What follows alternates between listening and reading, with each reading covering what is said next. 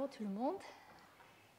Alors, la semaine dernière, j'ai beaucoup parlé de, l'histoire euh, du cancer, de comment euh, l'épigénétique s'est insérée un petit peu euh, dans cette histoire pour, essayer de, proposer des hypothèses en fait du processus de cancérisation. Cette semaine, je vais vous parler de, de la phase de l'époque génomique. Alors je dois avouer qu'en préparant le cours, je me suis rendu compte que ça sera plutôt de la génomique et pas beaucoup d'épigénomique, parce que le cancer est encore euh, un peu en retard par rapport à ce type d'études. Par contre, c'est un moment où effectivement il y a beaucoup de données qui commencent à sortir. Donc au fur et à mesure des, prochains cours, là, dans les prochaines semaines, je vais en parler euh, au cas par cas. Mais bon, vous allez voir. Donc je commence de manière euh, très simple pour vous, rappeler la manière euh, dont on, pense euh, le processus de, cancérisation se, passe dans une cellule. Donc c'est une manière très très simple, simpliste de vous montrer ça, mais c'est pour vous introduire un peu dans la réflexion qui a amené encore à, l'exploration des processus épigénétiques. Pourquoi imaginer que l'épigénétique ou que les processus épigénétiques euh, jouent un rôle? Alors, donc, euh, la manière que c'est euh, indiqué ici, on imagine qu'un un, stress ou un événement génotoxique, potentiellement génotoxique, peut arriver dans une cellule normale soit induite par euh, euh, de la radiation ou par des virus, etc. Et que d'habitude, enfin normalement, euh, ces, dommages sont réparés par le système extrêmement efficace que nous avons évolué dans nos cellules pour éviter que les choses se passent mal. Si l'événement n'est pas trop catastrophique et on peut le réparer, euh, la cellule peut continuer à vivre. Si la réparation euh, ne peut pas avoir lieu, euh, dans ce cas-là, il y a une mort cellulaire qui se passe. Voilà la situation normalement. Et donc, dans une situation où les choses ne se passent pas comme il faut, on peut se retrouver avec des mutations ça peut être euh, à chaque cycle cellulaire, on, a euh, des événements mutagènes qui, ont lieu simplement par des erreurs, même si euh, le système de réplication et de réparation de notre génome est extrêmement efficace, on peut avoir ce type d'événement. Donc ça peut être quelque chose d'assez stochastique aussi. Et alors ces mutations qui peuvent apparaître, peuvent donc déclencher euh, un processus de euh, prolifération euh, incontrôlée.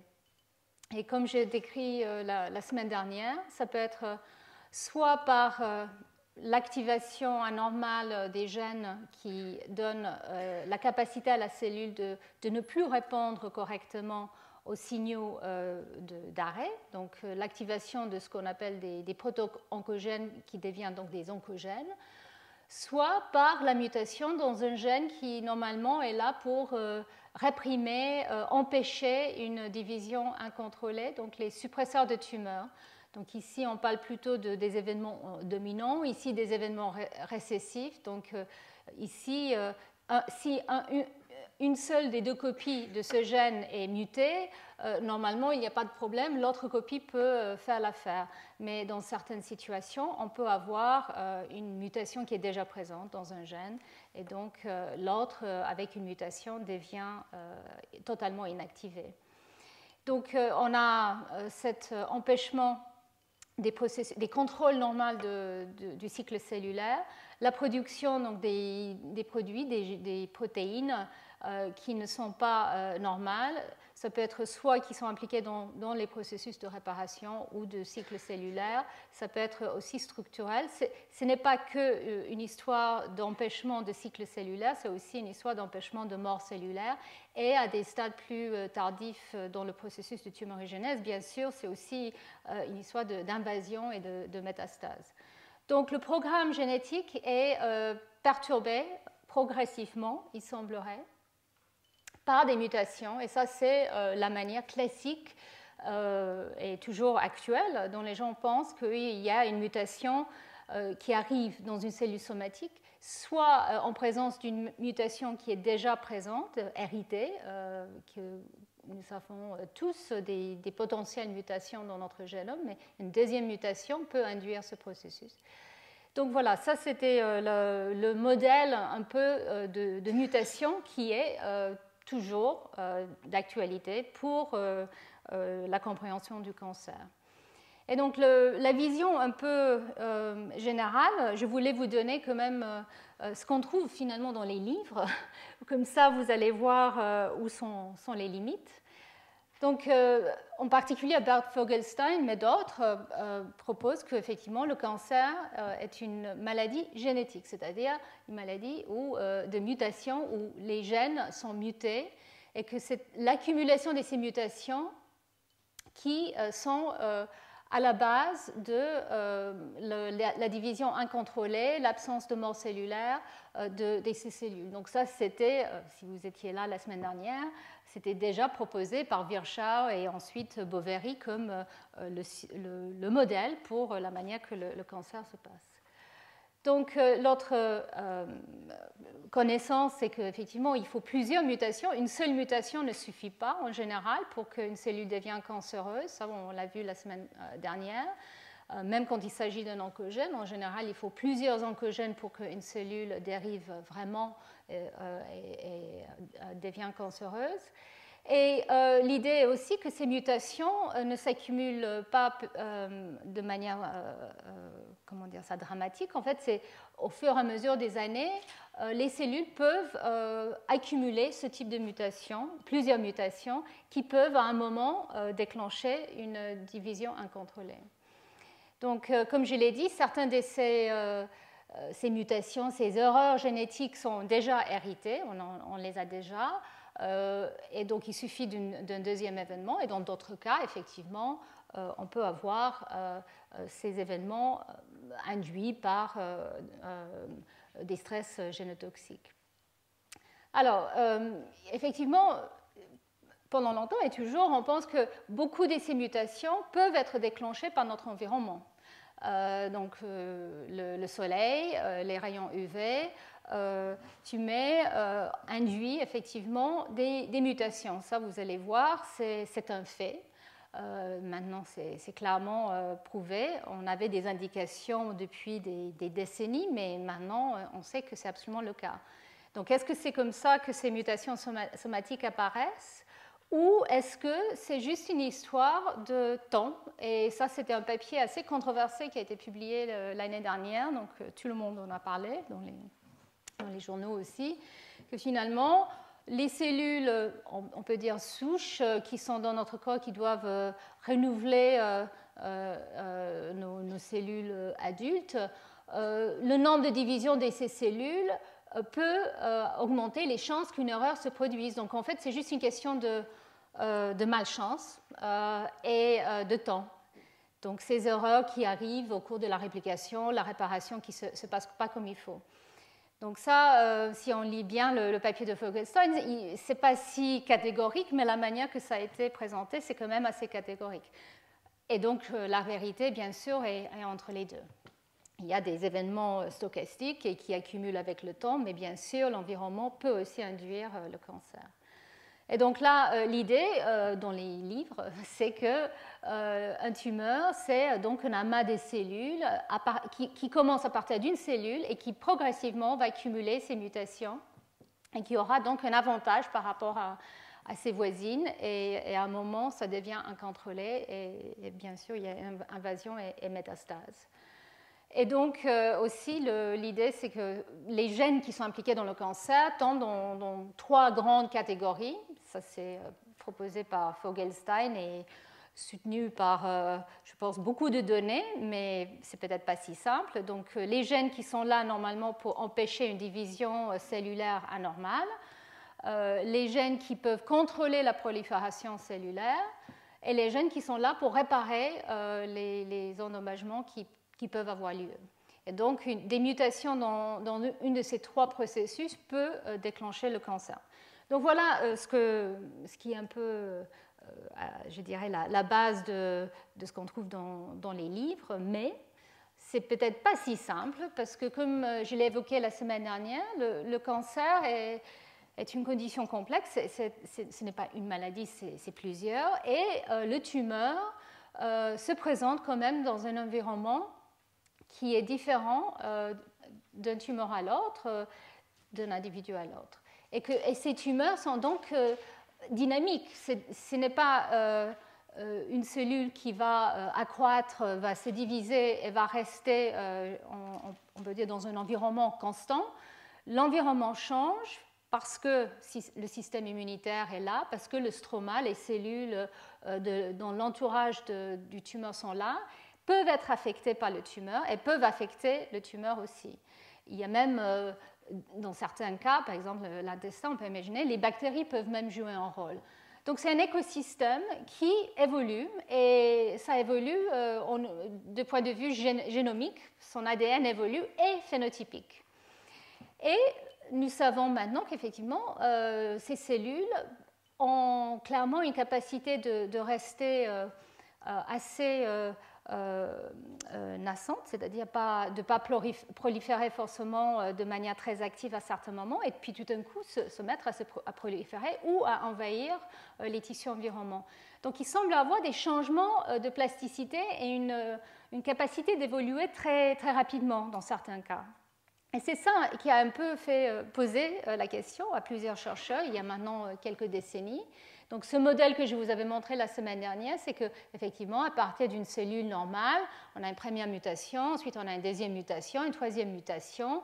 Euh, tout ça euh, peut être soutenu même dans certains systèmes, comme dans les cancers colorectals, où on pense qu'effectivement il y a euh, une première mutation dans le gène RPC, ensuite une deuxième dans un autre suppresseur de tumeur. Mais, comme je l'ai mentionné la, semaine dernière, en fait, euh, on a réalisé que chaque tumeur semble avoir son histoire. Ce n'est pas si simple, on n'a pas euh, une suite d'événements euh, aussi lisse.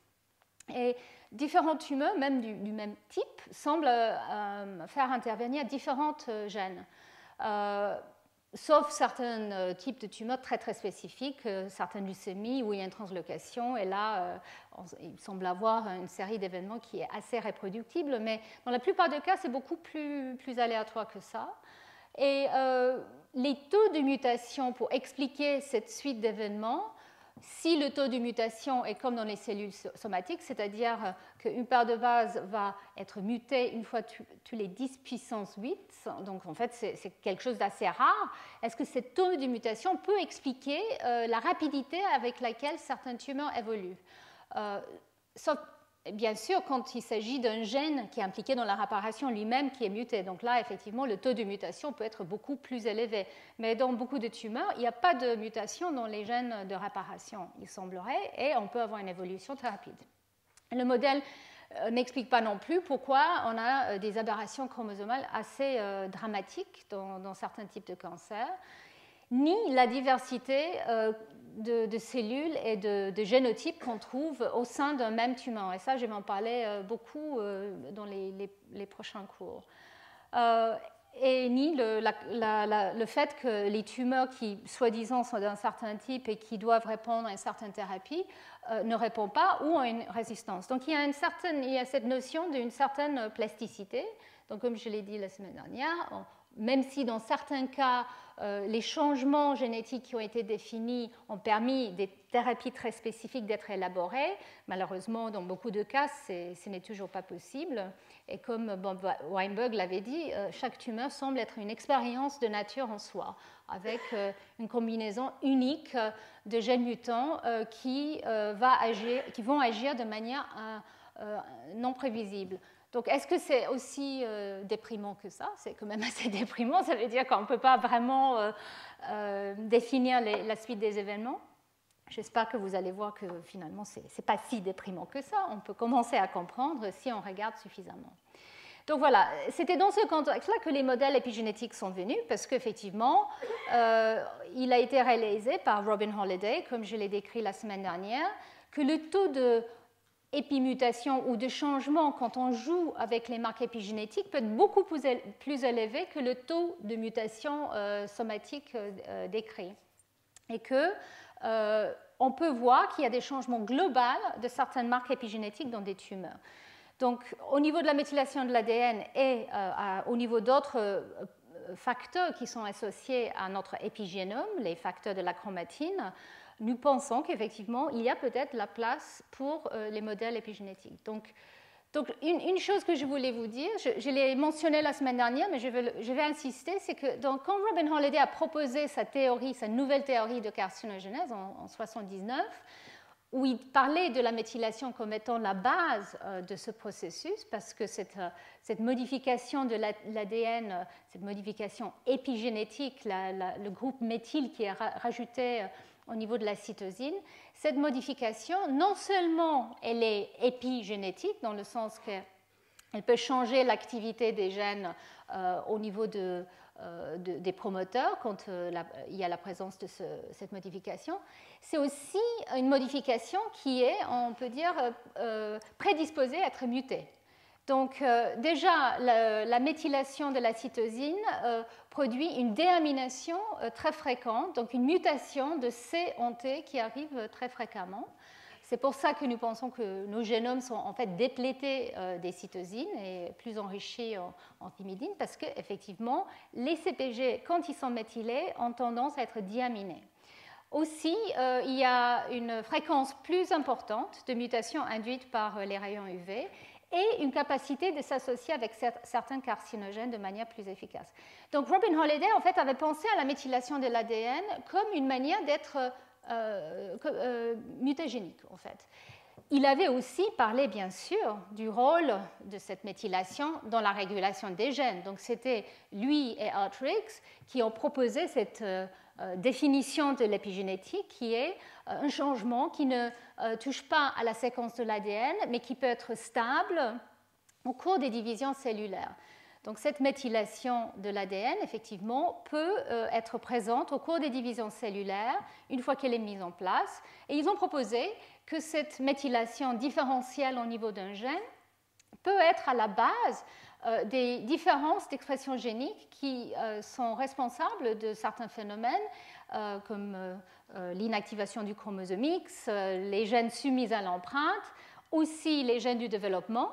Donc, il y a certains gènes développementaux et des gènes qui sont exprimés que dans la lignée germinale qui deviennent méthylés au niveau de ce qu'on appelle leur îlot-CPG, donc une région qui est dense en CPG à côté de leur promoteur et aussi euh, certaines gènes euh, qui sont exprimés que dans le testis d'habitude, mais qui deviennent exprimés de manière aberrante dans le cancer, et aussi des répétitions, ces fameux transposants ou rétrotransposants qu'on trouve un peu partout dans notre génome et qui peuvent être très embêtants si relâchés. Donc la méthylation était proposée comme une manière de contrôler l'activité euh, d'expression des gènes et au cours de la réplication parce que nous comprenons maintenant que euh, la méthylation peut être propagée au cours de la, de la réplication de l'ADN par euh, des protéines très spécifiques. Euh, les méthyltransférases de maintien, donc le DNMT1, c'est une protéine qui est recrutée au niveau de l'ADN qui est hémiméthylé au cours de la, réplication et qui va remettre en place la méthylation sur le nouveau bras, le bras nouvellement synthétisé. Donc nous, avons compris euh, euh, qu'effectivement il y a ces, protéines-là. Nous avons aussi compris qu'il y a des protéines qui sont recrutées à certaines régions de manière spécifique, probablement par des facteurs de transcription qui reconnaissent l'ADN, donc une séquence spécifique. Donc la méthylation peut être déposée par les de novo. Donc je vous raconte tout ça parce que je vais en parler plus tard. Et aussi, nous avons compris, et ça beaucoup plus récemment, donc, ça, ça, expliquait un peu la stabilité du processus. Une fois mis en place par euh, les de novo méthyltransférases, on pouvait propager cette marque euh, pendant très longtemps. Mais comme euh, Robin Holliday l'avait proposé, cette marque peut aussi être peut-être un, peu moins fidèle au, cours de, la division cellulaire, peut être perdue parfois. Et très récemment, euh, il a été découvert qu'il y a aussi des enzymes qui peuvent enlever cette modification ou au moins la transformer d'une 5-méthylcytosine à une 5-hydroxyméthylation. Donc en fait, euh, les enzymes TET, euh, dont je vais vous parler dans les prochaines semaines, sont responsables de cette activité de éventuelle déméthylase. En fait, elle transforme euh, la méthylcytosine en, 5-hydroxy. Et ça, c'est peut-être la première étape de la perte de, cette modification. Donc voilà, il y a eu donc la réalisation que la méthylation de l'ADN peut être une marque stable, mais aussi réversible et aussi dynamique. Donc, et pour le mettre dans le contexte de la chromatine plus généralement, donc ça c'est une diapositive que je vous avais montrée maintenant très souvent pour ceux qui viennent à mes cours, mais pour vous rappeler, la chromatine, donc l'ADN qui est embobiné autour de, euh, des histones pour former le nucléosome. Les histones, ces protéines euh, qui peuvent elles-mêmes être modifiées. Ces modifications peuvent jouer un rôle non seulement à l'accessibilité à l'ADN, donc euh, à l'accessibilité aux facteurs de transcription par exemple, mais aussi euh, peuvent euh, agir comme des plateformes pour des facteurs qui peuvent participer eux-mêmes à une mémoire cellulaire. Donc voilà, ces nucléosomes sont des porteurs de mémoire dans certains cas, mais qui peuvent aussi être dynamiques parce que nous pouvons euh, rajouter des modifications euh, sur les acides aminés de ces histones, mais nous pouvons aussi les retirer. Donc il y a des protéines euh, qui sont là pour écrire les modifications et d'autres qui sont là pour les effacer. Et la méthylation de l'ADN, comme je l'ai dit, aussi peut être effacée par les enzymes comme les, les têtes. Donc voilà. Donc la chromatine est, dynamique, mais porteur euh, d'informations qui peuvent être propagées. Est-ce que ça, ça peut être utile dans un contexte de, changement euh, d'état euh, dans, un processus comme le cancer?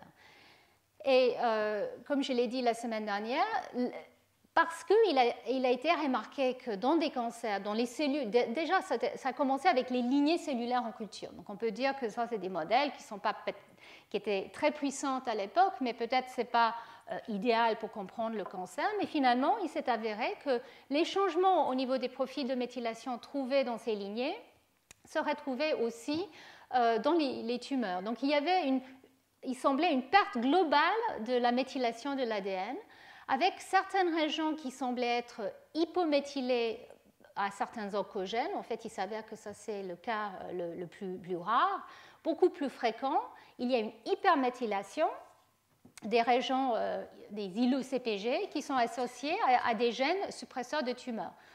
D'habitude, ces îlots CPG ne sont pas méthylés. Les îlots CPG, dans la plupart du génome, qui sont présents à côté d'un gène, restent non méthylés, même quand ils sont réprimés, sauf, comme je l'ai dit, dans le cas euh, de l'inactivation du X ou des gènes soumis à l'empreinte.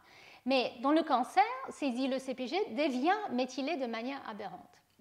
Et donc là, le modèle qui a été euh, proposé, euh, au départ par euh, Holiday, mais ensuite par Feinberg et d'autres, c'est peut-être, on peut avoir une situation où un gène est muté, soit dans sa région codante ou, ailleurs, au niveau de la séquence de l'ADN, l'autre allèle est exprimé, mais on peut avoir une épimutation, c'est-à-dire une méthylation qui s'installe et qui empêche donc l'expression du gène sauvage, même si euh, il aurait pu produire une protéine normale. Donc le grand avantage, et on va en parler beaucoup de ça dans les prochaines semaines, c'est que euh, cet événement, on, peut imaginer que ça peut être réversible, donc euh, peut être utilisé pour des, traitements.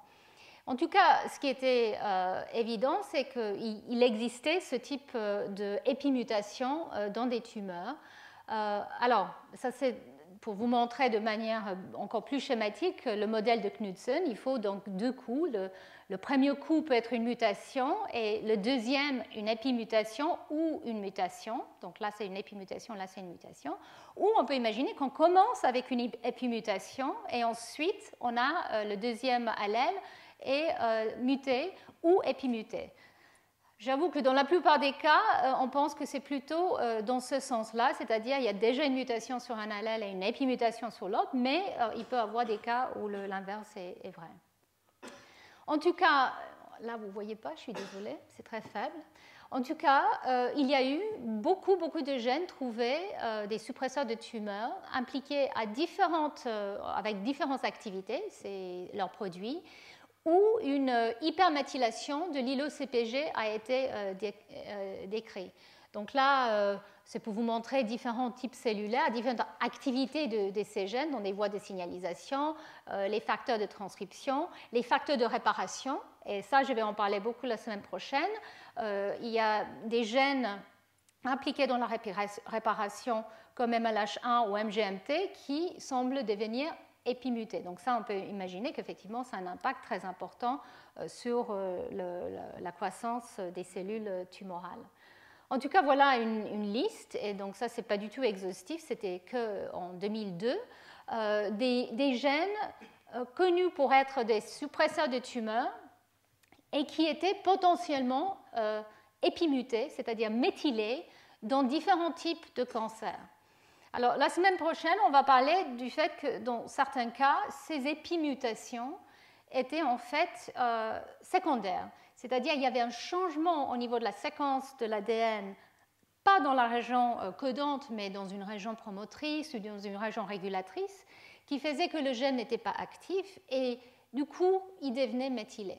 Dans d'autres cas, mais c'est plus rare, il y a des réelles épimutations, ou ce qui apparaissent comme étant des réelles euh, épimutations, c'est-à-dire le gène semble totalement sauvage, mais devient méthylé. Et euh, nous, nous allons parler de, comment ou pourquoi ce type d'événement pourrait avoir lieu. En tout cas, voilà, il y avait donc ces données que les changements de méthylation dans le cancer étaient quand même dramatiques. Des suppresseurs de tumeurs, euh, dans certains cas, on voyait les gènes euh, étaient méthylés. Alors pourquoi euh, les modèles de, étaient si attirants?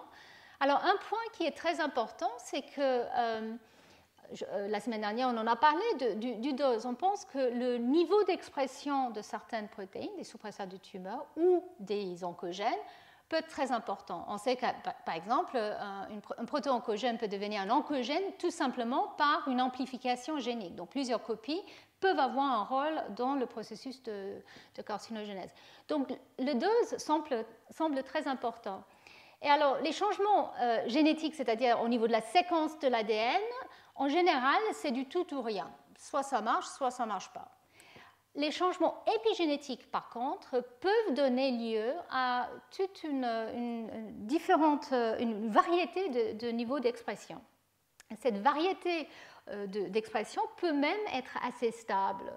Et euh, donc ici, je vous montre ça. Donc ici, c'est une mutation où effectivement, une fois que la mutation est arrivée, on n'a on a plus de produits, plus d'expression et donc euh, tumeur. Et ici, je vous montre euh, euh, le promoteur d'un gène qui devient plus ou moins méthylé. Donc, chaque, ces petits ronds, quand ils sont noirs, c'est méthylé. C'est des CPG méthylés. Quand ils sont blancs, ils ne sont pas méthylés. Et ici, on voit que normalement, ce gène est exprimé. Il commence à devenir euh, un peu méthylé.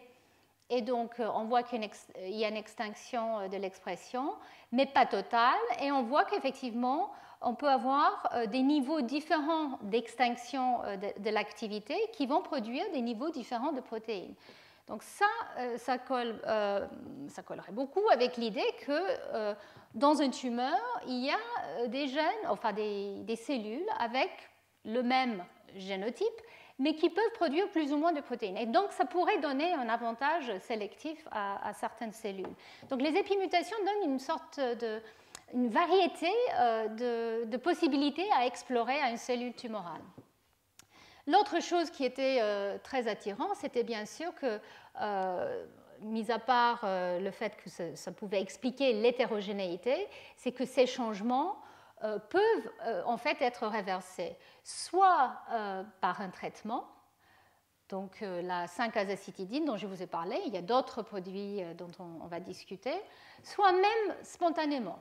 Dans certains cas de rétinoblastome, il a été même rapporté que euh, un, cas de, tumeur euh, peut être régressé et ça pourrait être corrélé avec euh, un, changement d'état de méthylation. Donc en fait, le gène RB est un suppresseur de tumeur.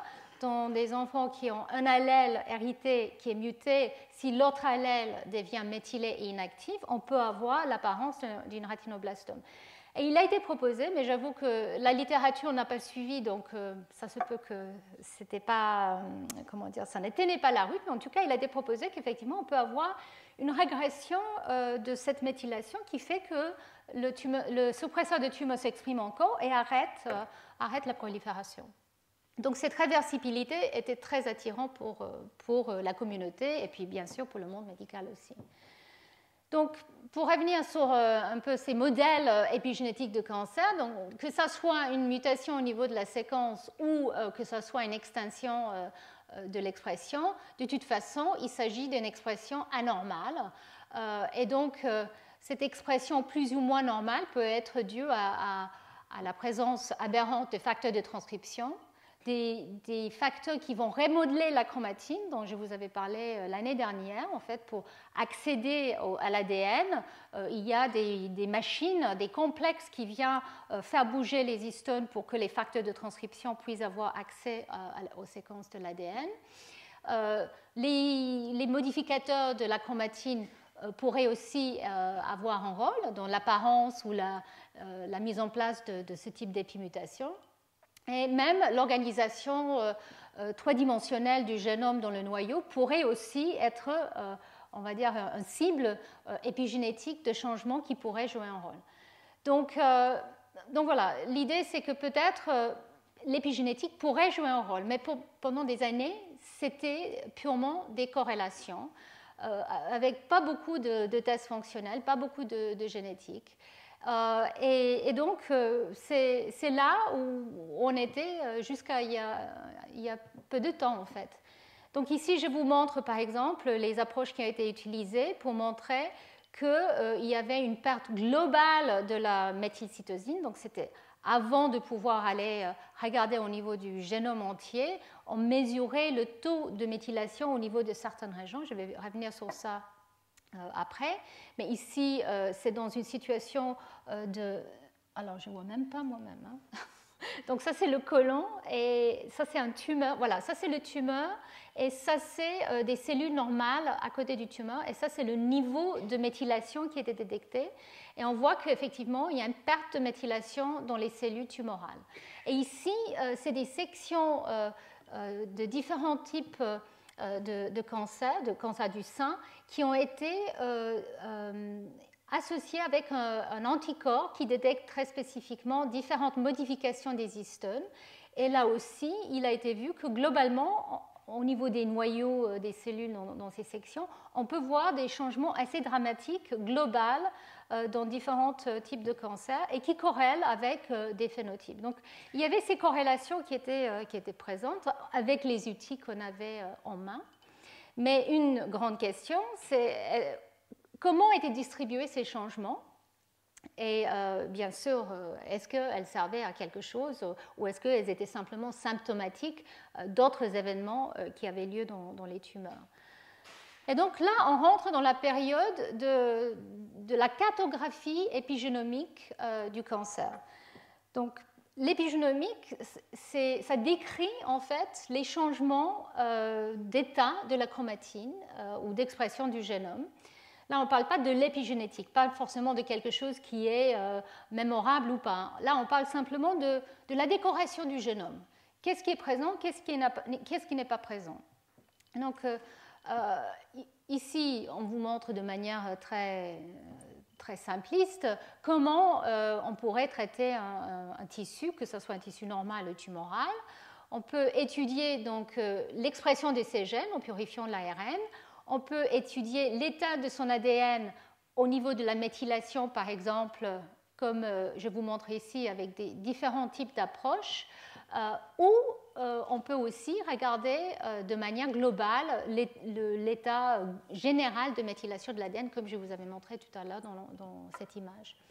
Et on peut aussi regarder des modifications des histones ou d'autres protéines en utilisant euh, ces anticorps. Comme je vous avais montré par immunohistochimie, on peut faire aussi ce qu'on appelle le, le, chip. Alors je reviens sur ça, excusez-moi.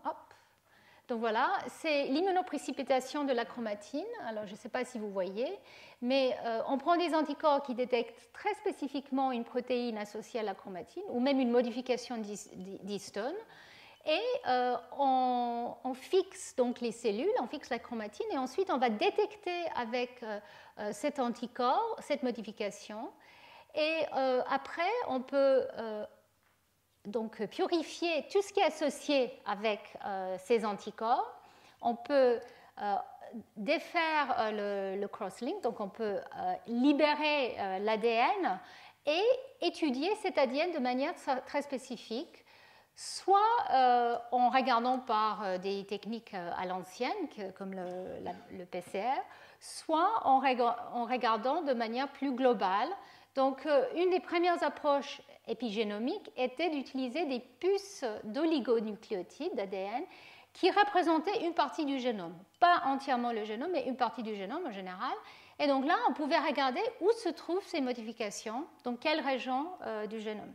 Donc c'était pour, les modifications de, la chromatine, pour les histones et les protéines, mais aussi pour l'ADN aussi, euh, une technique qui s'appelle le MEDIP, qui, détecte, un anticorps qui détecte la méthylation et qui permet donc d'étudier la distribution globale de la méthylation de l'ADN euh, au niveau du génome. Donc ces techniques sont maintenant euh, plus vraiment utilisées, mais au niveau du cancer, c'était surtout ce type d'approche qui a été utilisé jusqu'à récemment. Et alors, un problème avec ce type d'approche sur des, puces d'oligonucléotides, c'est que, par exemple, pour la méthylation de l'ADN, on sait qu'il y a euh, presque 30 millions de, sites CPG dans le génome, mais avec ces puces qui est utilisées, on ne détectait que moins que 5% des CPG.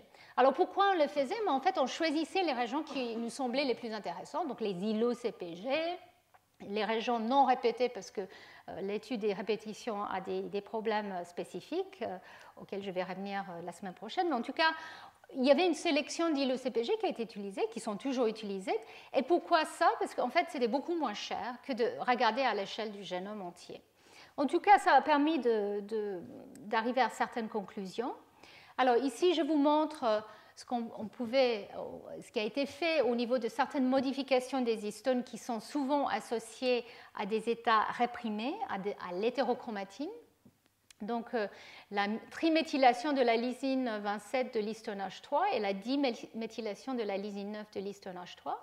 Et alors, plusieurs groupes euh, ont découvert qu'effectivement, dans le génome, il y a des, blocs euh, de modification. Ici, vous voyez une partie du génome ces petits traits bleus que vous voyez à peine, en fait, c'est des gènes. Là, c'est un gène. Et ce qui a été remarqué, c'est que sur plusieurs dizaines ou centaines de kilobases parfois, on avait des régions très, enrichies euh, avec ces modifications. Et d'autres régions qui n'étaient pas enrichies. Donc, comme si on avait une. Euh, le, génome était euh, segmenté avec des blocs d'hétérochromatine et des blocs de non-hétérochromatine. Donc, alors, il y a eu beaucoup, beaucoup d'études euh, et de publications sur ces blocs. Ils ont été appelés des, des ou des blocs et d'autres choses aussi.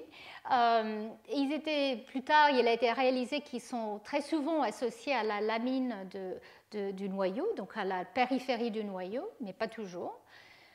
Donc euh, l'idée, c'était que peut-être ces, régions jouaient un rôle. Et quand il a été étudié dans les, les cancers, et ici je vous montre un résumé qui a été fait par une des personnes qui a participé à une de ces études, donc Céline Vallot, qui travaille ici à, Paris. Euh, et, donc, dans le laboratoire de François Radvani, ils ont réalisé que dans les, cancers de la vessie, il y avait donc ces blocs euh, de modification, mais qui apparaissaient de manière anormale, pas là où il fallait. Donc, il y avait euh, ce, qui, a été appelé par notre laboratoire, le labo de Sue Clark, des Long Range Epigenetic Silencing Regions, donc des régions qui étaient euh, d'habitude active et pas associée avec ces marques, mais qui devenait associée à ces marques. Donc en utilisant cette approche sur des puces, comme je l'ai décrit, avec immunoprécipitation de la chromatine et ensuite hybridation sur les puces, il a été réalisé qu'effectivement dans le cancer, on voit des, des régions qui de manière coordonnée montrent euh, des signatures anormales de euh, chromatine active ou chromatine inactive. Et il y a eu donc plusieurs types de cancers, cancer du côlon, cancer du sein, cancer de la prostate, où ces blocs ont été euh, euh, décrits. Donc tout ça, euh, c'était sur plusieurs années, effectivement, ça, donnait l'idée que peut-être le, génome était organisé et régulé de manière anormale dans les tumeurs. Et ici, je vous montre pour la méthylation maintenant de l'ADN. Et ici, en fait, il s'agit d'un des rares cas où à l'époque, en tout cas, ils avaient fait un séquençage massif. Ils ont détecté euh, l'ADN méthylé avec la technique de, bisulfite, qui est un changement chimique euh, du groupe méthyle, qui permet de détecter cette méthylation. Et ensuite, ils ont regardé par séquençage où se trouve la méthylation. Alors, dans des cellules normales, à côté du tumeur, on voit que globalement, il y a une méthylation sur cette région. Ici encore, je vous montre différentes gènes. Donc, euh, chaque série de, traits bleus, ici, il s'agit d'un gène euh, sur un des chromosomes. Et en fait, on voit qu'effectivement, il y avait une méthylation euh, assez généralisée. Et comme ça a été vu avec des, anciennes techniques, il y a donc dans, dans des cellules tumorales, en fait, euh, une perte assez générale de cette méthylation. Donc là, vous voyez en blanc, euh, donc la méthylation euh, est, baissée. Mais dans des blocs. Donc ça, ce n'était pas quelque chose qui, a été réalisé quand on regardait juste de manière massive est-ce qu'il y a méthylation ou pas. Maintenant, avec l'approche génomique, on voyait qu'effectivement, il y avait des régions qui étaient assez bien définies, ces blocs, comme je les disais, qui étaient soit totalement dépourvus de méthylation, soit partiellement méthylés. Donc, euh, ils ont été appelés partially methylated domains. Euh, et, ça, c'était quelque chose qui finalement est utilisé pour caractériser certains types de tumeurs ou euh, des, sous-groupes de, tumeurs. Donc ça aussi, ça a été corrélé avec l'enveloppe nucléaire. Ces blocs qui deviennent hypométhylés dans le, le cancer sont semble être associé d'habitude avec l'enveloppe nucléaire, avec la lamine, donc ces, régions associées à la lamina, les, les, LAD comme on les appelle, et dans les tumeurs, euh, apparemment, ces régions euh, deviennent hypométhylées et donc peut-être ne sont plus associées à l'enveloppe nucléaire. Ça n'a pas encore été regardé de manière euh, systématique. Donc voilà, pour vous donner un peu, c'est un, en fait, c'était un peu comme euh, un voyage touristique qu'on euh, faisait, nous les chercheurs. On prenait des marques chromatiniens, on prenait la méthylation et on regardait un peu comment ça se passe dans différents types cellulaires, dans différentes euh, parties du génome, dans des tumeurs. Et il y a eu plusieurs types donc de, profils identifiés. Je vais vous parler aussi la semaine prochaine, il y a des donc il y avait les îlots CPG, donc c'était euh, le mot qui a été utilisé pour ces régions d'à peu près 1 kb qui normalement ne sont pas méthylées, sauf, euh, comme je le disais, dans certains cas très spécifiques. et donc à, partir de ces îlots, après on a parlé des, des, plages, de, des, des, océans, et donc ces régions plus ou moins longues qui semblaient être méthylées ou changées au niveau de la chromatine de manière anormale. Donc, euh, très souvent, euh, comme je l'ai dit, ils étaient associés de manière très spécifique avec certains types de tumeurs. Donc, ils ont utilisé comme des biomarqueurs. Euh, donc ici, par exemple, la répression transcriptionnelle des gènes qui devient méthylée de manière aberrante peut distinguer des tumeurs de différents lignages du cancer du sein. Mais en fait, il a été réalisé que dans certains cas, ce changement d'état ou état différent était très souvent une réflexion de l'origine, de la cellule d'origine du tumeur. Quand il s'agissait d'un type de, cellule, en fait, elle gardait sa mémoire et donc euh, dans le tumeur, on voyait quelque chose qui ne, ne corrélait pas avec euh, les cellules environnantes, mais euh, c'était une mémoire du type cellulaire qu'elle était. Donc pas très utile en fait. Mais dans d'autres cas, ça semblait corréler quand même avec avec euh, euh, l'inactivité ou activité aberrant euh, dans certains types de, tumeurs. Donc tout ça c'est très bien. comme j'ai dit ici, c'était facile de spéculer, très difficile de conclure. Et alors pourquoi? Alors je reviens sur, sur, des images que je vous montre encore et encore. Dans une situation normale, toutes les cellules ou quasiment toutes les cellules de notre corps ont le même génome et différents épigénomes qui sont donc corrélés euh, bien avec euh, les différentes identités cellulaires.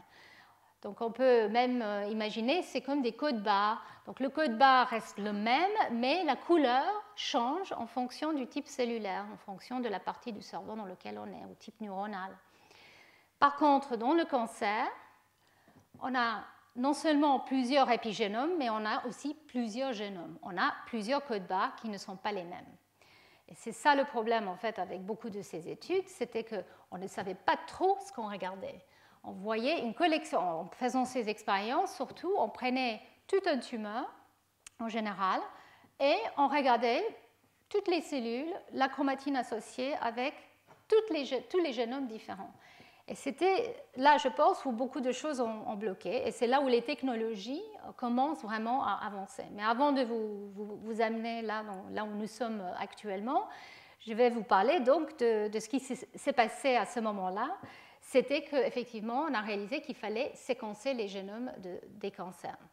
Alors bien sûr, ça a commencé avec le séquençage du génome humain. Donc, euh, le projet qui était un peu à la suite, euh, je dirais, de, la révolution de la biologie moléculaire, qui était un peu né de cette guerre contre le cancer, il y a eu la, réalisation, et euh, Dalbeco, en fait, était un des, premiers à le dire dans les années 80, que pour vraiment comprendre la manière qu'une cellule fonctionne ou ne fonctionne pas, il faut connaître la séquence de son génome. Donc, il y a eu ce projet euh, énorme qui était de, séquencer le génome humain, le génome normal humain. Et euh, bon, je ne vais pas vous raconter l'histoire, c'est une autre histoire, mais en tout cas, voilà la, course, donc euh, le projet public et le projet privé de Craig Venter, Cellular Genomics, qui finalement a accéléré le, processus, mais qui a, fini par nous donner donc le génome entier de l'homme. Euh, et donc le premier euh, draft, euh, la première séquence qui a été publiée mais qui n'était pas complète, c'était en 2001, je pense, ou 2000. Et ensuite, la version complète était en 2003. Et donc ici, bon, je vous montre comment ça a été fait. Donc il fallait prendre l'ADN des cellules, la casser, ensuite la séquencer et rejoindre ces bouts de séquence. Et donc ça, c'était le travail de tous ces bioinformaticiens naissants qui commençaient à apparaître et qui maintenant nous, dominent complètement. en tout cas, voilà, le, défi, c'était que donc on a, on a eu le génome, donc 3 milliards de paires de bases environ, pour 20 000 gènes, peut-être un peu plus maintenant, on pense. Et, euh, donc, on espérait qu'avec cette séquence, on allait tout comprendre, euh, ou beaucoup en tout cas. Donc, euh, comment le, dogme central marchait, donc l'ADN, comment il, en fait il produit cette panoplie d'ARN qui produit ces protéines qui font que nous sommes là et toutes les autres espèces vivantes. Donc voilà, on était devant notre génome, content, un peu effrayé, et euh, là, c'était en fait le vrai défi, c'est de comprendre comment ça marche. Et c'est là où nous, sommes, nous en sommes maintenant. Donc ici, je vous montre euh, encore une fois la chromatine pour vous montrer un peu les approches qui étaient en train de se développer. le séquençage du génome a vraiment permis d'aller étudier de manière systématique comment euh, le génome est associé à certains facteurs et replié en lui-même comment il est exprimé. Donc on peut séquencer les transcrits qui viennent des gènes ou, d'autres régions du génome qui ne sont pas forcément euh, codants. On peut identifier les régions régulatrices des gènes qui sont parfois très très loin du, gène lui-même. Ça peut être à quelques kilobases ou même à quelques centaines ou milliers de kilobases. On peut avoir une séquence d'ADN qui est là pour dire que voilà, ce gène doit être exprimé à ce moment du développement et pas à un autre il fallait identifier ces, choses-là. Et petit à petit, avec les outils qui permettent de voir où sont associés les facteurs, quelle est la chromatine, quel est l'état de la chromatine dans différentes régions, en utilisant le séquençage après immunoprécipitation de la chromatine, comme je l'ai décrit, en regardant les régions qui sont plus ou moins accessibles, ouvertes de la chromatine, et donc probablement les régions où les facteurs de transcription sont bien associés à l'ADN, on pouvait commencer vraiment à aller euh, comprendre comment le génome est lu et comment il est exploité de manière dynamique dans différents types cellulaires ou au cours du, développement. Donc voilà, ça c'était euh, tout ce que je viens de vous dire, comment il est replié, comment il est associé avec différents facteurs. Et donc de ce génome est né euh, plusieurs projets. le projet peut-être le plus connu, le plus euh, le plus avancé, c'est le projet qu'on appelle ENCODE, the Human Encyclopedia, l'encyclopédie du génome humain, qui était en fait une, euh, une manière d'analyser de manière systématique toutes les éventuelles régions régulatrices, euh, séquences fonctionnelles du génome en utilisant certaines des techniques que je viens de vous montrer. Et ici, je vous montre tout simplement le plus petit chromosome du génome humain, le chromosome 21, ou le 22, je ne vois pas. En tout cas, c'est tout petit. Et euh, ici, vous voyez en fait donc l'ADN, la méthylation est montrée en orange en fait sur tout ce chromosome. Et ici, chaque rang est euh, la méthylation dans différents tissus. Donc on pouvait explorer la méthylation de l'ADN de ce chromosome dans toutes les tissus différents et voir qu'effectivement, ça change. Ce n'est pas pareil partout. Bien sûr, on peut regarder la transcription aussi et aussi euh, les changements de la chromatine. Donc le génome était vraiment euh, essentiel pour commencer à accumuler ce type d'informations. Et ça continue. Donc il y a par exemple ce qu'on appelle le roadmap épigénomique du NIH aux États-Unis, euh, qui ont décidé d'attaquer 111 épigénomes de référence pour comprendre comment l'ADN est euh, décoré, utilisé, donc l'accessibilité de l'ADN, la méthylation de l'ADN, l'expression, euh, le, transcriptome.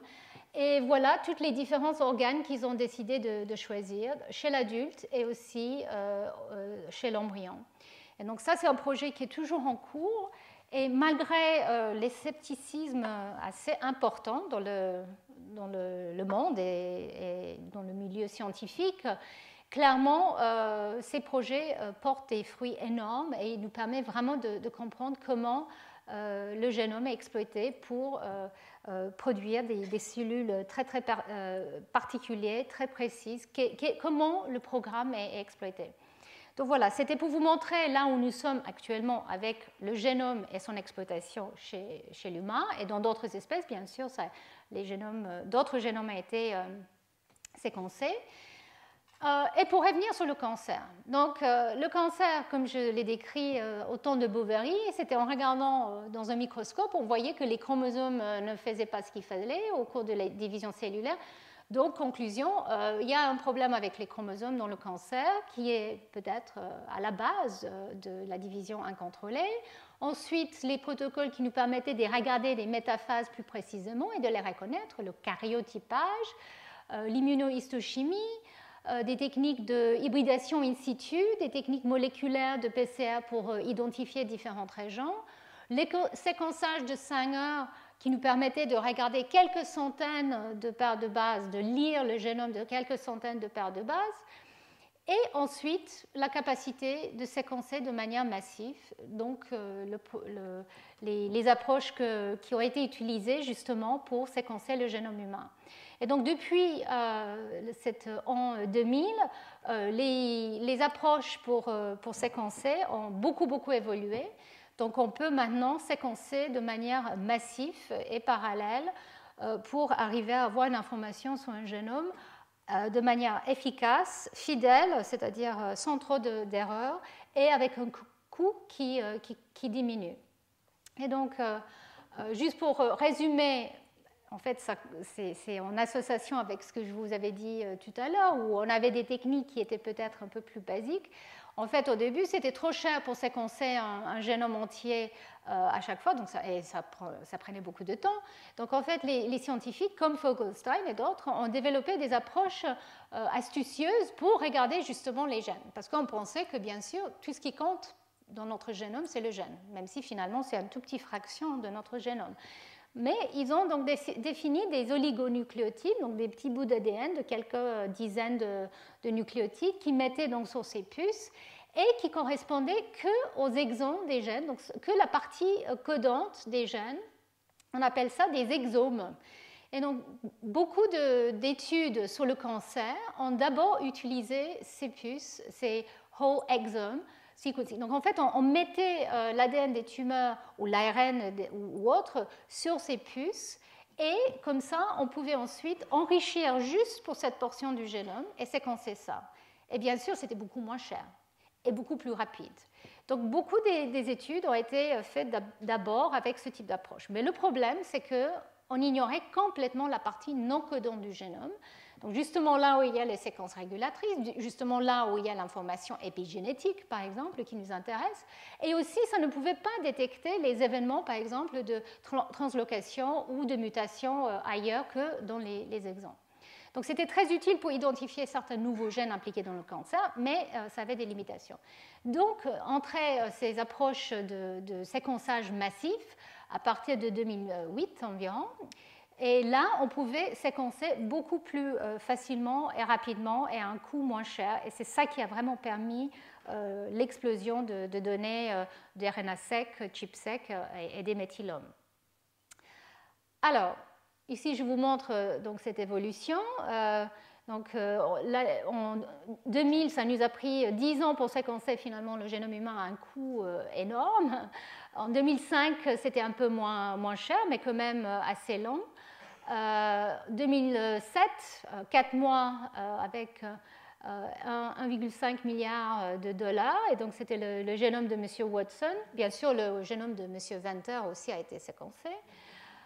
et ensuite, on arrive à l'époque où on commençait à séquencer les génomes des cancers, des tumeurs. Donc, la première tumeur, c'était donc des, leucémies, parce qu'ils étaient les plus facilement accessibles en forme, on va dire, et puis aussi euh, très étudié euh, grâce à des translocations et autres qui ont été définies. Donc ça devenait quand même plus rapide et moins cher. Et euh, comme vous voyez, c'est parti très très vite avec donc beaucoup de, génomes qui ont été séquencés depuis l'année 2009-2010. et aujourd'hui, a priori, on peut séquencer à un coût, en moins d'un jour, à un coût de 1000 dollars environ, alors, ça ne suffit pas pour euh, faire grand-chose au niveau d'un génome. Au niveau d'un transcriptome, au niveau de l'ARN, ce n'est pas un problème. Au niveau d'un génome, effectivement, ce n'est pas euh, très utile parce qu'il faut une profondeur beaucoup plus importante. Donc, en fait, c'est plus cher que ça, mais c'est clairement beaucoup moins cher que ce que c'était euh, avant. En tout cas, au moment où les chercheurs ont décidé qu'il fallait attaquer la question, et là aussi c'était très critiqué, il y avait beaucoup de gens qui imaginaient qu'on n'allait pas comprendre le cancer juste en regardant les génomes des, tumeurs, mais il y en avait d'autres qui croyaient. Et donc, il y a eu des consortiums qui se sont mis en place pour euh, justement rendre tout ça plus efficace. Donc, euh, D'abord, c'était des consortiums euh, nationaux. Donc, en fait, il y avait, par exemple, le Sanger Institute au Royaume-Uni et euh, le NIH euh, aux États-Unis qui, ont mis en place euh, des, projets en, 2006 environ.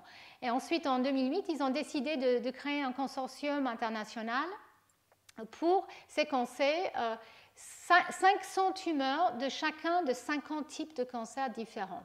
Voilà.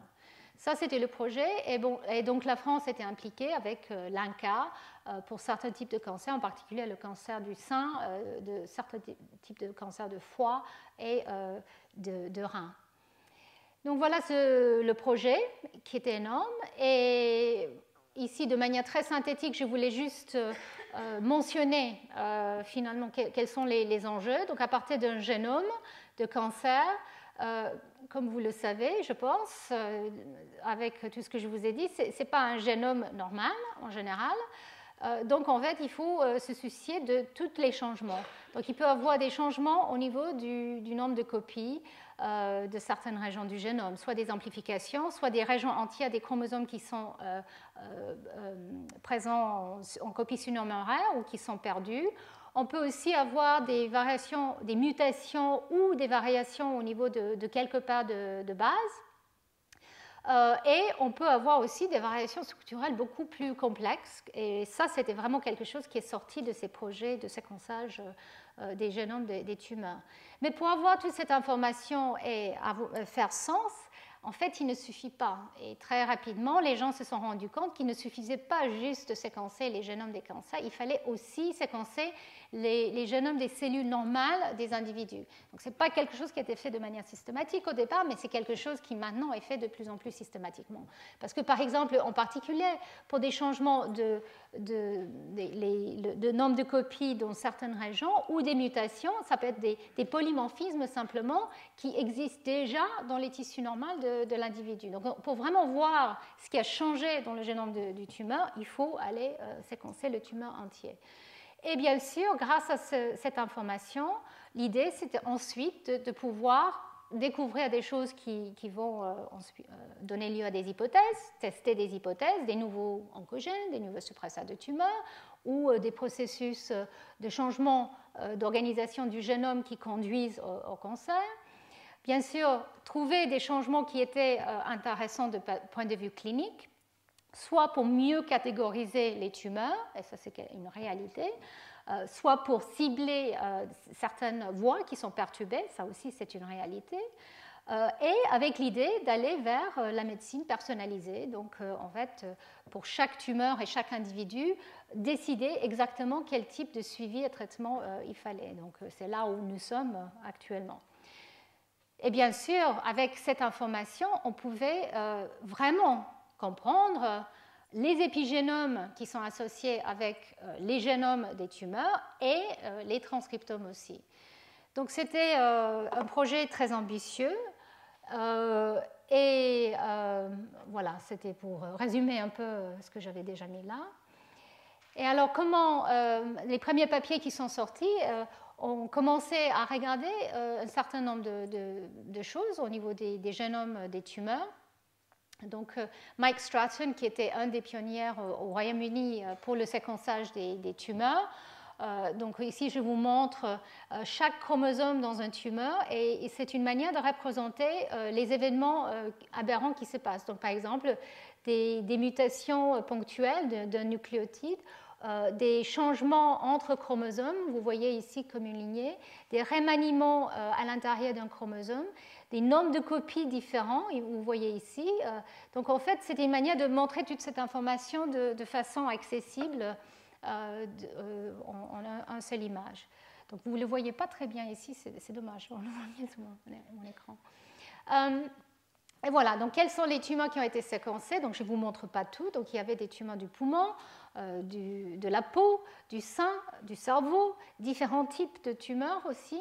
Euh, donc voilà, ça c'était un des premiers papiers qui était sorti euh, donc, avec Stratton et, d'autres. les, carcinomes du thyroïde, cancer du, poumon, de la prostate, du côlon, du sein. Donc un nombre de papiers assez impressionnant chacun avec cette information de, des génomes de ces tumeurs et qu'est-ce que ces génomes pouvaient nous euh, donner comme information utile et intéressante. Et donc ici, je vous montre euh, de manière très synthétique, et ça vient en fait d'une revue que Fogelstein a, publiée euh, en 2013, certaines de, ces informations. Donc, en prenant donc tous les tumeurs des différents tissus, euh, ils ont pu d'abord regarder dans chacun de ces papiers euh, quel, était le type de mutation présent, les mutations au niveau euh, nucléotidique, et aussi sa fréquence. Alors, on, parle de fréquence, on ne pouvait pas vraiment dire la vitesse à laquelle ces mutations ont paru, parce que bien sûr, on prend le tumeur à T et on ne sait pas en fait combien de temps avant combien de divisions euh, cellulaires ont inclus. En tout cas, ça nous permettait de regarder le taux de mutation dans différentes, et la fréquence de, de mutation dans différents types de tumeurs.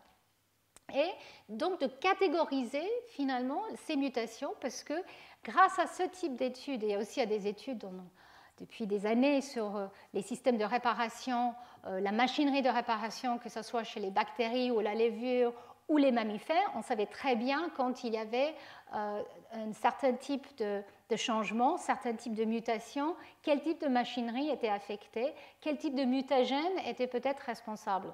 Donc toutes ces études sur des systèmes modèles depuis des, décennies étaient extrêmement utiles pour mieux comprendre ce qui n'allait pas euh, dans ces, tumeurs. Et donc la première euh, surprise, c'était que la, la, fréquence de mutation semblait beaucoup plus variable qu'on s'attendait. Donc dans certaines tumeurs, surtout les tumeurs pédiatriques, il y avait très très peu de, de mutations, donc moins de 0,1 sur euh, millions de, paires de bases. Et dans d'autres types de tumeurs, il y avait beaucoup plus de mutations, donc euh, une centaine par mégabase, par exemple dans les, cancers du poumon euh, ou dans les mélanomes. Et là, les signatures de ces mutations étaient très claires. La plupart de ces mutations étaient effectivement associées au, tabac dans les cancers du poumon ou aux rayons UV quand il s'agissait de mélanomes. Donc c'était assez, euh, on peut dire, satisfaisant de dire bah, finalement, effectivement, euh, ces expositions environnementales qu'on soupçonnait ont réellement un impact sur ce type de, mutation. On pouvait regarder, euh, comme je disais, le spectre de, mutations différents, quel type, et donc évoquer différents événements. Donc on pouvait avoir un niveau euh, élevé de mutation qui était dû par exemple au rayon UV, mais trouver aussi d'autres défauts dans certains types de tumeurs qui étaient associés à une défaillance de la machinerie de réparation, euh, comme dans les, tumeurs colorectales où effectivement euh, la machinerie de réparation du mismatch repair, MLH, MSH, est très souvent mutée et donc là on voit un taux très important de mutation. Alors ce qui est intéressant à savoir, c'est que dans certains types de tumeurs, ce taux important de mutation euh, n'est pas forcément le, comment dire ça, le plus mauvais augure. Donc, c'est-à-dire il y a des, tumeurs qui sont en fait beaucoup plus facilement traitées avec des taux de mutation importants que ceux qui ont des taux de mutation euh, pas importants. Donc c'était important de savoir quel était euh, le spectre de ces mutations et aussi de pouvoir catégoriser les tumeurs avec ces différents types de signatures. Et alors, 16 signatures ont été euh, évoquées dans, ces, publications, donc euh, différents types de signatures de, mutations. Et euh, ici, je vous, vous, je vous montre les, 16 signatures et dans différents types de, cancers, quelles sont les signatures qui sont retrouvées. Donc, chaque tumeur pouvait avoir une combinaison de signatures différentes de, types de mutations qui étaient présents. Et, donc, euh, euh, voilà, comme je l'ai dit, euh, dans certains types de tumeurs de, cancer du poumon, on voyait très clairement une prépondérance de transition de C à A qui était, et, beaucoup de, changements de, copie, de, gains de, certaines séquences qui étaient plus importants dans des tumeurs venant des individus qui étaient des fumeurs que des non-fumeurs. Euh, et comme je l'ai dit aussi, dans les tumeurs colorectales, on voyait beaucoup d'événements d'une déficience de cette machinerie de mismatch repair. Alors, euh, pour ceux qui sont intéressés, donc, euh, les chercheurs, non seulement, euh, après avoir séquencé ces génomes et, mis à disposition ces séquences, ils commencent à, générer donc, des, bases de données avec les différents types de mutations qui sont mises à jour et, accessibles pour permettre, pour faciliter l'étude qui devient de plus en plus routine, on va dire, d'analyse de, certains types de tumeurs, tumeurs en clinique. Alors, l'autre grande surprise, enfin d'abord, euh, pas une grande surprise, on savait par la cytogénétique que les, que les karyotypes des tumeurs sont anormales. Donc ici, je vous montre euh, avec une technique qui, est euh, l'hybridation in situ qui détecte les chromosomes avec des sondes fluorescentes de différentes couleurs. C'est une approche qu'on appelle SKY. Donc ici, vous voyez une cellule normale où il y a deux copies de chaque chromosome comme il faut. Et ici, vous voyez euh, une, tumeur colorectale où vous voyez qu'effectivement, euh, il y a, au lieu de 46, il y a 59 chromosomes et ils sont très remaniés aussi. On voit des translocations, euh, on voit des, chromosomes qui sont présents en une seule copie, d'autres en quatre. Donc voilà, on le savait déjà et ça a été confirmé effectivement que la plupart, en moyenne, les tumeurs ont à peu près 25% du génome euh, qui est affecté par ce type de gain ou perte de chromosomes ou de régions chromosomales, avec environ 10% des événements plus localisés, c'est-à-dire des grandes délétions ou des amplifications géniques. Donc c'est une moyenne. En fait, il y a certaines tumeurs où on trouve très très peu de remaniements et d'autres tumeurs où on trouve beaucoup. Mais en général, on en, trouve euh, toujours. Alors, ce qui est intéressant, c'est malgré euh, le fait qu'on a cette information maintenant à la base près, ça ne définit pas forcément les gènes euh, qui sont euh, importants, c'est-à-dire dans une amplification par exemple, la région amplifiée en général couvre plusieurs centaines de kilobases. Et à l'intérieur de cette région, il y a plusieurs gènes. Et c'est toujours pas évident de savoir quel était le gène pour lequel cette amplification a donné un avantage sélectif pour que cette cellule euh, puisse prendre le relais dans le tumeur. Donc ça, c'est quelque chose qui reste euh, à, trouver, et ça, c'est tout le, je dirais, le, défi avec euh, ces études maintenant. Et je vais revenir sur ça parce qu'il y a des approches pour attaquer ce défi. C'est comment trouver les événements qu'on appelle euh, drivers, c'est-à-dire les événements qui poussent et qui sont derrière la tumorigénèse. Il y a certains événements qui sont des, des, chauffeurs et d'autres qui sont simplement des passagers. Comment faire la, distinction? Et c'est très important de savoir parce que en fait, on veut pouvoir traiter ou attaquer euh, les événements, les, voies qui sont euh, justement les chauffeurs, pas les passagers. passagers. Donc ça, euh, c'était généralement, donc on avait des remaniements des chromosomes, mais alors ce qui était une grande surprise, c'était qu'il y a des événements un peu catastrophiques des chromosomes qui sont totalement déchiquetés on appelle ça de la chromotripsis, parce qu'en grec, ça veut dire euh, euh, catastrophe, comme, une... Euh, comment on appelle ça? Comme... Ah. Enfin... Oui, presque. Mais c'est pas ça. Non. J'arrive pas à trouver le mot. C'est pas grave, ça, va me revenir. En tout cas, voilà, c'est des événements qui, touchent euh, un chromosome ou quelques chromosomes entièrement euh, et différents types de tumeurs montrent ça.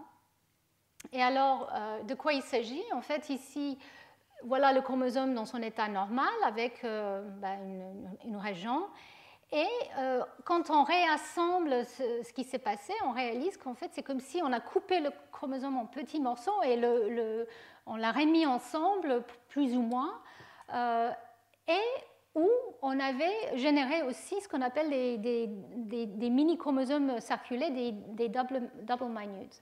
Donc en fait, on avait remarqué qu'il y avait ce type d'événement, euh, on pensait que c'était plutôt associé à l'amplification génique, mais ici, c'était une, lecture de ces événements très précise.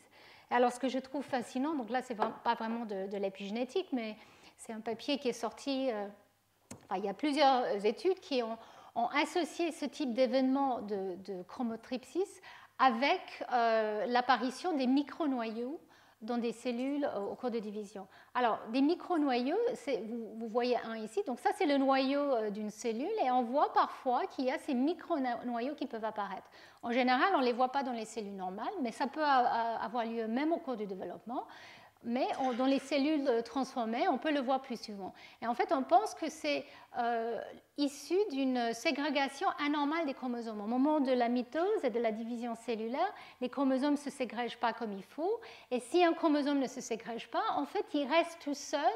Il crée un mini euh, nucléaire autour de lui et il reste là. Le problème, c'est qu'il n'est pas du tout soumis au même contrôle et donc il a tendance à se condenser de manière prématurée et donc, ça déclenche euh, euh, une, une, attaque de, de réparation, euh, en fait, des, événements de destruction, donc des cassures qui, parce que la réplication a lieu dans une chromatine qui est condensée, et une réparation qui est un peu en catastrophe. Et donc, en fait, on, aurait, on aurait créé un chromosome qui n'est pas normal.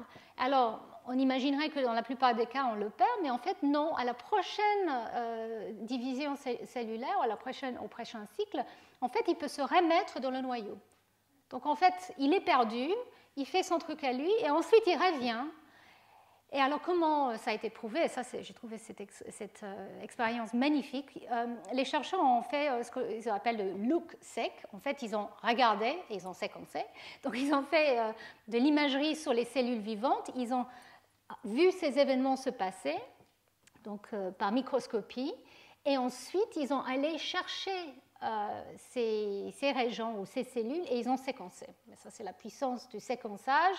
Donc, ils ont pu séquencer et montrer qu'effectivement, ce qu'on trouve dans ces micronoyaux, c'est justement un chromosome qui est en train d'avoir de, ce qu'on appelle cette chromotripsis. Donc voilà, ça c'était une des, des, réalisations qui, a été, qui est venue grâce à, à, ce séquençage du génome. Et alors, est-ce que c'est quelque chose qui conduit à, des événements euh, anormaux Pas forcément, mais évidemment, quand on fait ça, on va remanier toutes les séquences d'un chromosome. Donc, il y aura des événements, effectivement, euh, d'altération dans des gènes de suppresseurs de tumeurs ou même euh, des proto-oncogènes. Donc, ça peut effectivement donner un avantage à ces cellules. Alors, pourquoi je vous raconte tout ça? C'est parce que ça fait changer la manière qu'on pense à l'évolution des tumeurs. Je vous avais dit tout au début qu'en fait, on pense que c'est un processus qui a lieu très euh, lentement, avec des mutations progressives qui peuvent euh, apparaître euh, au cours de la vie, et il y aura une sélection à un moment pour certains événements quand une cellule commence à devenir cancéreuse. Donc c'est un peu darwinien, donc ça c'est justement une page de, Darwin avec son arbre, et c'est comme ça que les chercheurs pensaient à l'évolution des cellules au cours, euh, justement pour produire les cellules tumorales et ensuite avec l'évolution du tumeur. Quelque chose d'assez progressif avec une sélection euh, au cours du, temps. Donc, euh, comme je, vous avais dit la semaine dernière, Nawel avait même proposé ça en, en 70, 76. Alors, avec cette découverte de chromotripsis et d'autres événements, euh, la chromoplexie, qui est un remaniement à l'intérieur d'un chromosome, et alors là, on ne sait pas comment ça marche, mais en tout cas, euh, on a réalisé qu'il y a beaucoup de génomes euh, de tumeurs qui, donc, peuvent changer très rapidement. Au cours d'une division cellulaire, on peut faire un grand saut, qu'on appelle ça, et, et, donc, ça peut conduire à un changement dramatique dans l'état de la cellule. Et donc, au lieu d'imaginer que la progression est effectivement euh, progressive, on peut avoir ce type de, gros saut. Et on appelle ça donc euh, la théorie des monstres prometteurs. C'est une théorie en fait qui s'applique à l'évolution aujourd'hui, pas juste pour les cancers, mais aussi euh, l'évolution des espèces. On pense qu'effectivement, par exemple, chez certains singes, la, spéciation a apparu parce qu'il y a eu un grand événement. La plupart de ces grands remaniements en fait conduisent à une catastrophe, à une perte, mais parfois peuvent donner lieu à quelque chose beaucoup plus, euh, qui a beaucoup plus de succès.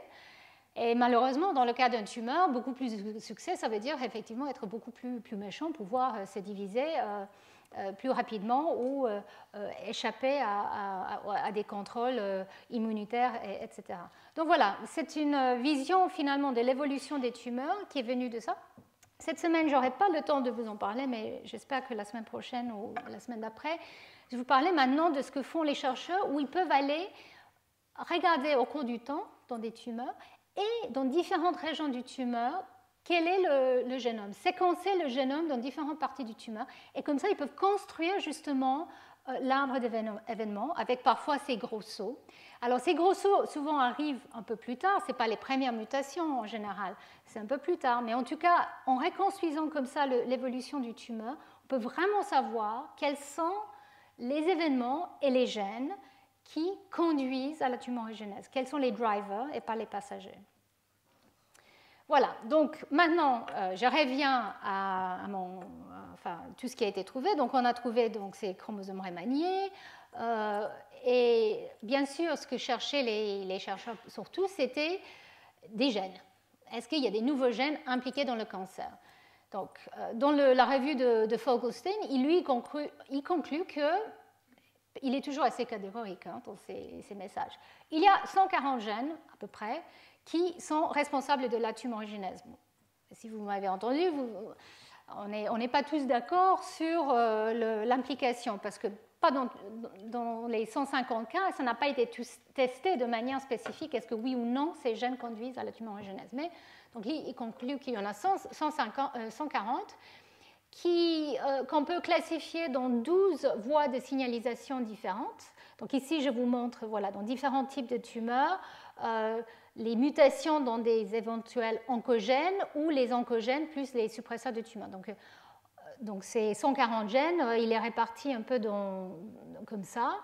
Et donc, il dit qu'ils sont divisés dans 12 voies de signalisation différentes qui affectent ces trois types euh, ces trois euh, processus fondamentaux dont je vous avais montré tout au début de mon topo. Euh, donc, le maintien du génome, la survie cellulaire et le destin cellulaire. Donc, il dit que typiquement, chaque tumeur a 2 à 8 de ces mutations et que les restes, toutes les autres mutations qu'on trouve dans les tumeurs, c'est que des passagers. Alors là, pas tout le monde est d'accord parce que il semble clair que certaines des mutations qu'on trouve des tumeurs qui sont à moins que 20%, par exemple, on appelle ça les queues, les queues de, la courbe, en fait, souvent, ils sont euh, impliqués dans d'autres types de tumeurs. Et parfois, ils sont impliqués dans une voie de signalisation, par exemple. Ils sont redondants. Donc, en fait, on peut les trouver pas aussi fréquemment, mais ils sont quand même dans la même voie. Donc, en fait, c'est très utile de comprendre si oui ou non c'est... Euh, euh, ces mutations sont présentes. Et dans certains cas, ils peuvent même indiquer une nouvelle voie qui n'a pas été forcément soupçonnée. Et parce qu'on ne connaît pas, maintenant on commence à le connaître, mais l'évolution des tumeurs, on ne peut pas le connaître si on prend un tumeur intenté, comme je le disais. En fait, on commence à réaliser qu'effectivement, il y a différentes voies utilisées à différents moments au cours de, la tumorigénèse. Donc, on peut avoir des passagers qui deviennent des drivers et des drivers qui sont des drivers de lait de part.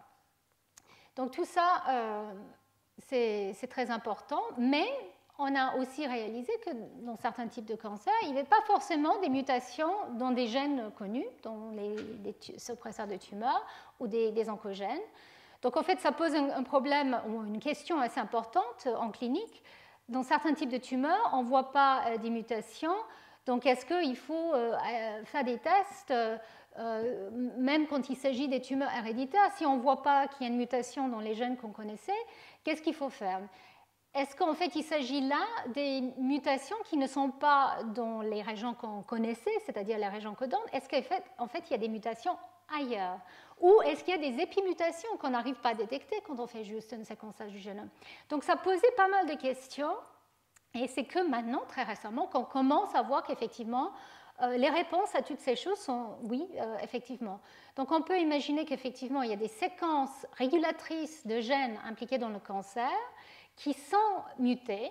C'est difficile à les reconnaître parce qu'ils ne sont pas dans une partie codante pour une protéine. Donc on ne peut pas dire, ah tiens, ça c'est cet acide aminé qui pourrait être euh, donc affecté avec une mutation. C'est ailleurs dans le génome, donc dans ce vaste océan du, génome.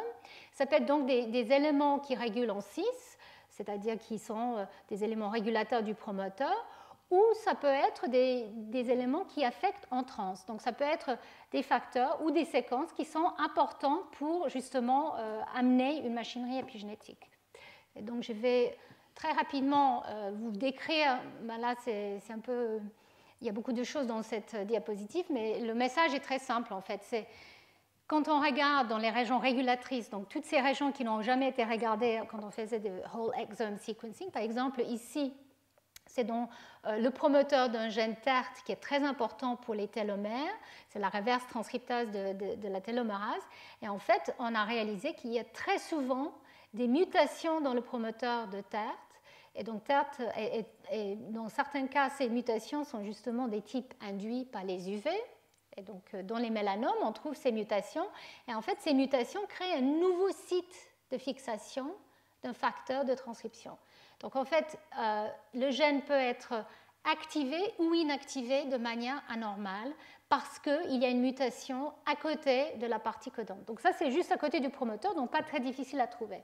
Mais dans d'autres cas, on a réalisé très très loin, donc le gène MIC, c'est un gène euh, tumeur de suppresseur, et là on voit qu'effectivement on peut avoir une insertion euh, virale qui se retrouve à 500 kilobases du promoteur et qui est probablement impliquée dans une expression trop importante de, cet oncogène. Donc on réalise qu'effectivement, il y a des mutations qui sont présentes dans des séquences régulatrices qui peuvent euh, prédisposer euh, au cancer si, elles sont héritées ou qui peuvent être euh, acquis de façon somatique. donc ça, c'était pour vous montrer un papier qui vient de sortir il y a quelques jours où quelqu'un a regardé dans les voisinages des gènes, des protoncogènes, est-ce qu'il y a des événements anormaux qui se passent? Alors, je ne vais pas vous faire un cours sur ça aujourd'hui, je n'ai pas le temps, mais on, a réalisé assez récemment que le génome est organisé en trois dimensions de manière assez particulière, dans des domaines de plusieurs centaines de kilobases. C'est des domaines topologiques, on les appelle. Et à l'intérieur de ces domaines, il y a plusieurs gènes qui ont leur séquence régulatrice. Et donc, cette, étude faite par le labo de, de Rick Young, ils ont pris différents types de tumeurs, ils ont regardé est-ce que oui ou non, les proto-oncogènes, ils ont euh, les séquences du voisinage qui sont affectées. Et ils ont trouvé que oui, de manière très fréquente, il y a des changements au niveau des séquences du voisinage qui font que les proto-oncogènes sont affectés dans leur expression. Et donc ça peut être très très loin, ça peut, être à plusieurs centaines de, kilobases euh, du promoteur. Donc je vais aller plus vite. Donc ici, je vous montre simplement, voilà, euh, on peut avoir des mutations au niveau de la séquence de l'ADN, on peut avoir des changements épigénétiques, et les changements épigénétiques et les changements génétiques au niveau de la séquence peuvent affecter la manière que le génome est replié, que les éléments régulatrices peuvent euh, euh, agir ou pas sur des promoteurs. Donc ça peut être des régions qui sont là pour attirer des facteurs de transcription qui sont importants pour déclencher l'expression ou la répression d'un gène, ou ça peut être aussi des mutations dans des, régions qu'on appelle structurales qui sont là justement pour permettre la création de, ces, domaines ou ces loops entre régions. Donc tout ça, ça, apporte une nouvelle dimension, on va dire, de, la manière qu'on imagine qu'effectivement le génome d'un cancer peut être euh, affecté. Bien sûr, c'est beaucoup plus difficile parce que parfois il s'agit d'un nucléotide dans une région de plusieurs centaines ou de milliers de nucléotides qui est affecté, donc il faut aller le chercher. Mais euh, avec euh, des approches diverses, c'est exactement ce que les chercheurs sont en train de faire. donc là, je vais terminer euh, sur peut-être pour moi en tout cas, enfin pour ce cours, la découverte la plus existante de tous ces, séquençages des génomes. Donc, est-ce qu'on a trouvé des nouveaux gènes ou pas? On a trouvé des nouvelles polymorphismes et des mutations dans les gènes qu'on connaissait, comme MIC, mais on a aussi trouvé des nouveaux gènes qui étaient impliqués dans l'épigénétique. Et ça, c'était vraiment la surprise. Et euh, en fait, on réalise, on ne sait pas exactement pourquoi ils se sont passés inaperçus, mais il y a effectivement beaucoup de gènes impliqués. Euh, donc ici, c'est les différentes euh, processus dans lequel les, gènes qui ont été découverts dans différentes tumeurs euh, se trouvent. Donc là, il y a beaucoup de voies de signalisation, ça on le savait déjà, donc ça c'était important. il y a aussi beaucoup de, gènes impliqués dans le cycle cellulaire, l'intégrité génomique, donc il y a eu des, nouvelles découvertes. Mais peut-être la catégorie la plus importante, c'est les gènes qui codent pour des protéines impliquées dans la chromatine. Donc ça, c'était vraiment assez inattendu, extraordinaire. Et donc, euh, par exemple, je vais vous montrer juste euh, euh, un exemple, c'est dans les, tumeurs, les leucémies ou les lymphomes, les tumeurs hématopoïétiques. Il y a donc la méthyltransférase de novo dont j'ai parlé tout à l'heure, DNMT3A, qui est très souvent mutée dans certains types de leucémie, jusqu'à 30%. Il y a la déméthylase TET2 qui est aussi très souvent mutée dans certaines maladies myéloïdes et aussi une autre euh, famille de protéines qu'on ne connaissait pas, euh, les, les isocitrates deshydrogénases, qui ont apparu de manière très fréquente comme étant mutées, non seulement dans les leucémies, mais aussi dans d'autres types de tumeurs. Et ici, je vous montre, euh, ça ne se voit pas très bien, mais ici, c'est les différents types de tumeurs, et ici, c'est tous les facteurs associés à la chromatine, donc par exemple les histones, les, les DNA méthyltransférases ou déméthylases, euh, les facteurs qui s'associent euh, à des modifications épigénétiques et les, facteurs de remodelage de la chromatine.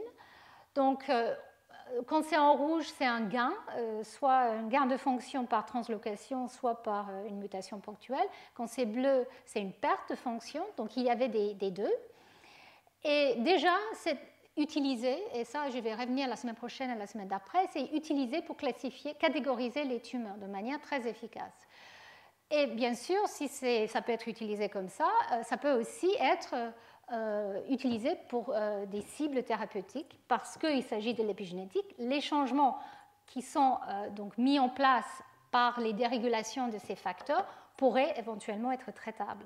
Donc là aussi, il y a une base de données des modificateurs épigénétiques qui a été mise en place, euh, qui, euh, qui donne, qui tient un jour tous ces différents facteurs et les mutations qui sont trouvées dans des différentes tumeurs. Et donc un cas que j'avais déjà mentionné en fait euh, l'année dernière dans mon cours, mais que je n'ai pas eu le temps d'élaborer, mais je vais le faire cette année, c'était des mutations dans les histones, les variants d'histones. Donc ça, de manière très étonnante, on trouve des mutations d'une acide aminé, la lysine 27, qui est donc très souvent triméthylée euh, dans, des régions euh, d'hétérochromatine. Et donc, cette, euh, cette, lysine peut être mutée. Alors, il y a aussi la lysine 36 qui peut être mutée. Et donc, en fait, ces, mutations très, très spécifiques sont trouvées dans certains types de, de gliomes. Et donc là, euh, les tests euh, sont toujours en cours, mais clairement, ce euh, changement d'état de, cette histone, qui ne permet pas donc de rajouter cette modification qui très semblablement amène donc toute une machinerie de mémorisation d'un état réprimé, donne lieu donc à, ou participe en tout cas à, ces types de, tumeurs. Donc ici, je vous montre toute une autre panoplie de, facteurs qui, ont, qui, sont mutés dans les cancers, qui ont été trouvés grâce à ces études génomiques.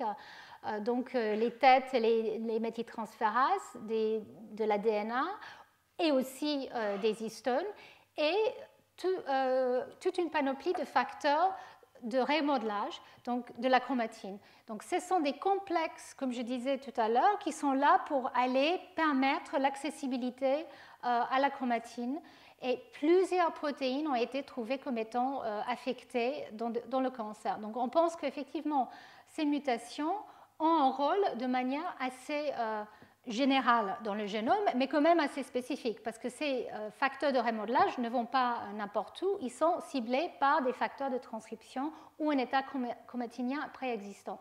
Donc les mutations euh, qu'on trouve dans différentes tumeurs peuvent avoir un impact sur l'expression des gènes différents. Et donc c'est ça que les chercheurs essaient d'étudier actuellement et je vais en parler aussi dans les semaines qui viennent. Donc là, euh, je, pense que je ne vais pas avoir le temps de, rentrer dans les détails et je vais revenir sur ça, mais voilà, ça c'était la grande découverte euh, qui était inattendue, c'est ces enzymes ces déshydrogénases dans ce cycle euh, qui, produit en fait euh, la phakétoglytarate qui est euh, absolument essentiel pour l'activité enzymatique de différents facteurs, les déméthylases et les histone méthyltransférases et déméthylases. Et donc en fait, dans une, quand cette protéine est mutée, elle empêche la production de l'alpha-kétoglutarate. Euh, elle produit à la place le 2-hydroxyglutarate qui lui empêche l'activité de ces enzymes. Donc là, on trouve, comme attendu, une déméthylation euh, du génome. Et c'est exactement ce que, euh, comme je disais tout à l'heure, on faisait du tourisme, on regardait les tumeurs, on voyait des gros blocs qui étaient déméthylés ou reméthylés. Et bien là, enfin, on commence à comprendre pourquoi. Parce que ce type d'acteur était muté et donc, l'activité normale de déméthylation ou de reméthylation était perturbée.